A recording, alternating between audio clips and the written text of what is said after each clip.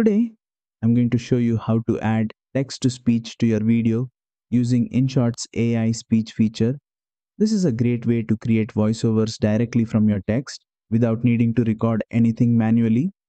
First, tap on the text option in the toolbar, then select AI speech from the menu.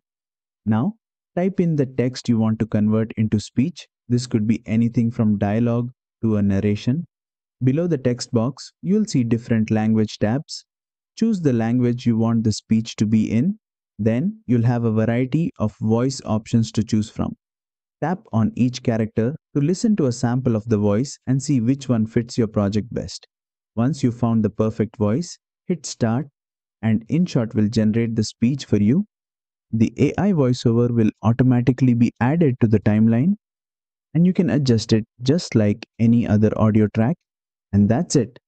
You now have text converted into speech, ready to be part of your video.